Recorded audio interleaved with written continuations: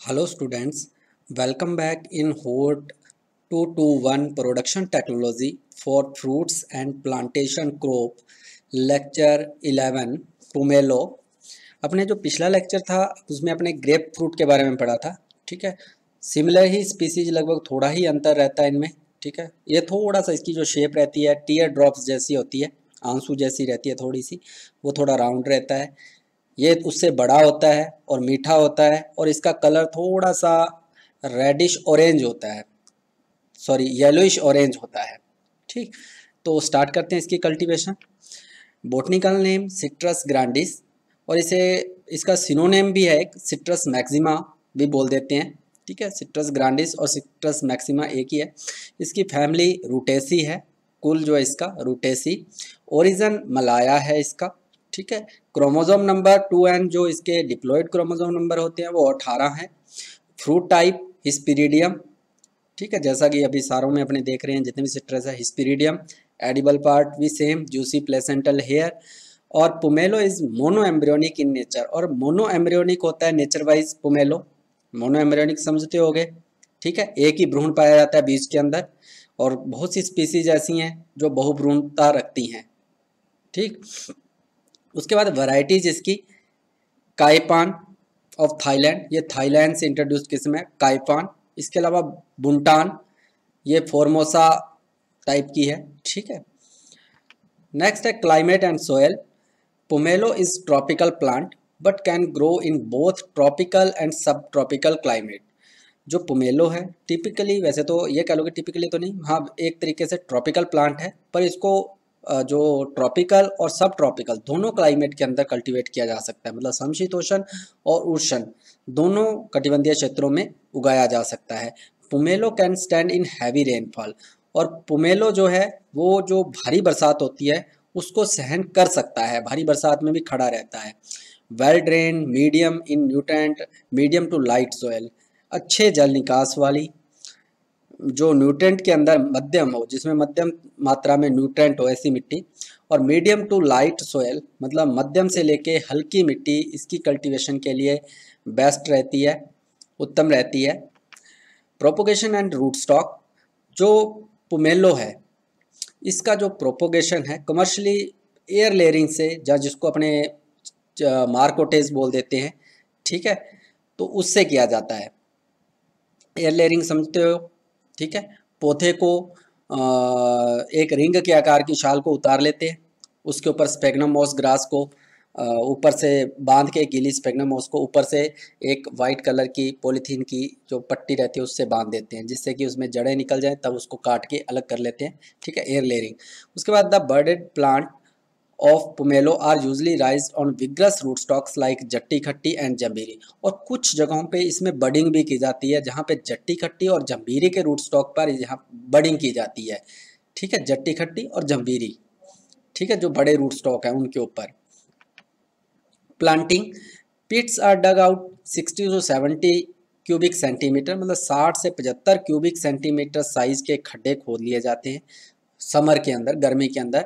At a distance of six into six to eight into eight metre मतलब छः से छः मीटर छः मीटर के भी खोदे जाते हैं प्लांट से प्लांट और जो रो टू रो रो की दूरी होती है रो टू रो वो छः इंटू छः भी रखी जाती है, किसी जगह पे छः इंटू आठ भी रखी जाती है, कई जगहों पे आठ इंटू आठ भी रखी जाती है, ठीक है? Planting is done at the onset of monsoon planting जो की जाती है, रोपण करते हैं जो पौधे का, ठीक है? वो मानसून के समय करते हैं, ठीक है? और इसमें जो गर्मी के अंदर खड्डे खोदे जाते हैं, उसके एक महीने बाद उन खड्डों के अंदर जो गोबर की खाद और अच्छी गार्डन की सोयल मिक्स करके, उसको बराबर मात्रा मिक्स करके भर दिए जाते हैं। ठीक है, उसके बाद उनमें प्लांटिंग की जाती है उन खड्डों के अंदर। मैन्योर एंड फर्टिलाइज़र लगभग लगभग सिमिलर ही है, जैसा कि अपने उसमें पढ़े थे लेमन के अंदर और ग्रेप फ्रूट के अंदर सेम ही है। Generally fertiliser applied in thrice in a year मतलब तीन बार देते हैं इन दिसंबर जनवरी के अंदर। जून, जुलाई के अंदर और सितंबर, अक्टूबर के अंदर मतलब तीन बार देते हैं वर्ष के अंदर।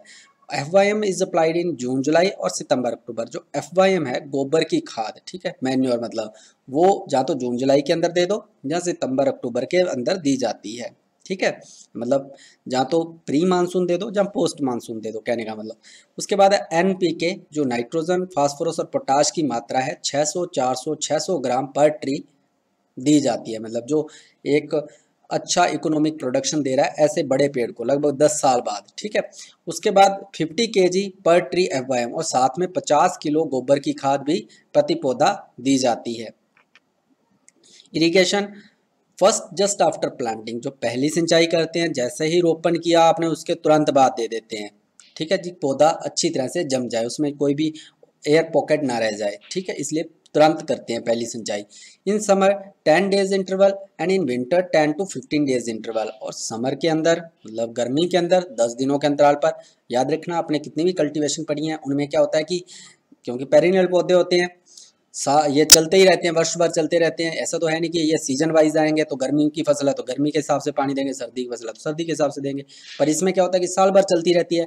तो इसमें ज़्यादातर जितने भी पौधे आएँगे अपने, उनमें गर्मियों के अंदर कम अंतराल पर सिंचाई की जाती है। वैसे तो मिट्टी के ऊपर भी डिपेंड करती है, हल्की मिट्टी है तो सिंचाई की ज़्यादा आवश्यकता होती है। मतलब बार बार सिंचाई की आवश्यकता हो, भारी मिट्टी के अंदर कम सिंचाई, कम पानी की आवश्यकता होती है।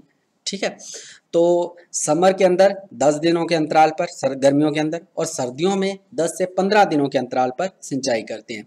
Adequate soil moisture should be maintain during flowering and fruiting जो एडिक्वेट सोयल मॉइस्चर है मतलब एक पर्याप्त नमी होनी चाहिए जब फ्लोवरिंग हो रही होती है, पुष्पन होता है, या फिर फ्रूट बन रहे होते हैं फ्रूटिंग स्टेज होती है पौधे की, उस समय पर्याप्त मात्रा में मिट्टी के अंदर मॉइस्चर होना चाहिए। नहीं तो इसके अंदर training and pruning the young plant are given support so that they can grow perfectly और जो ट्रेनिंग प्रूनिंग कह लो, या कांट शांट कह लो और संदाई कह लो, पौधे की प्रारंभिक अवस्था में पौधे की कांट शांट कह लो, या ट्रेनिंग की जाती है, उसमें उस पौधे को सपोर्ट दिया जाता है। ठीक है? कि उसका जो स्ट्रक्चर है, वो अच्छा बन जाए फ्रेम अच्छा बन जाए, मज़बूत हो। पर बाद में ये एडवाइज़ नहीं किया जाता कि उसकी और ज़्यादा ट्रेनिंग की जाए पौधे की, ठीक है?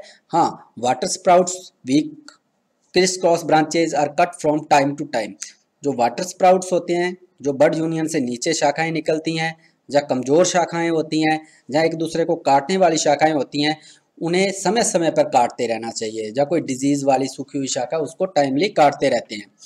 Harvesting and yield North India, January to March. जो नॉर्थ इंडिया है, उत्तरी भारत के अंदर, जनवरी से मार्च के अंदर इसकी तुड़ाई करते हैं। साउथ इंडिया, दक्षिणी भारत के अंदर सितंबर से नवंबर तक मतलब सितंबर, नवंबर के अंदर इसकी तुड़ाई करते हैं दक्षिणी भारत में। जो उपज है इसकी, एक बेसिक सी उपज है, लगभग सौ फ्रूट पर पौधा मिल जाते हैं मतलब सौ फ्रूट पर ट्री मिलते हैं पर ईयर इसकी जो उपज है।